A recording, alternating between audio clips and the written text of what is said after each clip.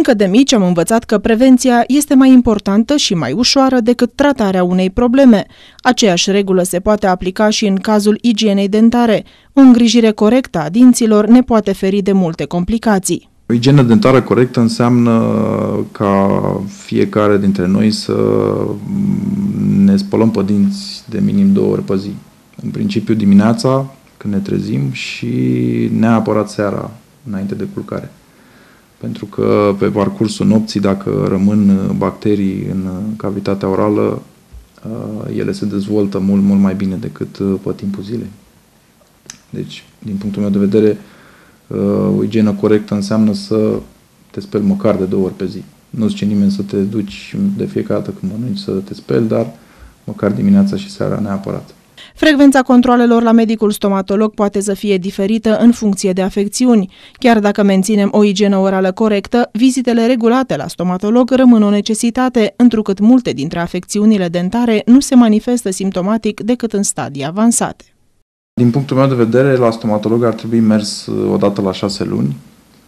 Um, este foarte important pentru că mergând o dată la șase luni se pot face igienizări profesionale uh, și în același timp problemele dentare pot fi descoperite în uh, forme incipiente când totul este mult mai simplu și pentru pacient și pentru medic și din punct de vedere financiar este mult mai simplu și mult mai ușor să îți tratezi o plombiță, să-ți tratezi o carie decât să uh, îți pui un implant.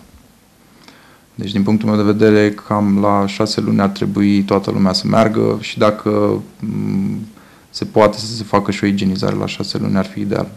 Este bine cunoscut faptul că alimentele pe care le consumăm ne influențează greutatea, însă același lucru este valabil și în privința danturii. Atunci când consumăm multe dulciuri, putem avea surpriza de a fi nevoit să mergem frecvent la medicul dentist. Nu vă pot spune ce alimente ar trebui să consumați ca să îi păstrați sănătoși, dar vă pot spune ce alimente n-ar trebui să consumați ca să îi păstrați sănătoși. În principiu, zahărul este cel cu probleme destul de mari asupra dinților. Uh, băuturile dulci, da? care în general copiii le uh, consumă destul de mult. Uh, zahărul este cel care face cel mai mult rău dinților, mai ales la copii.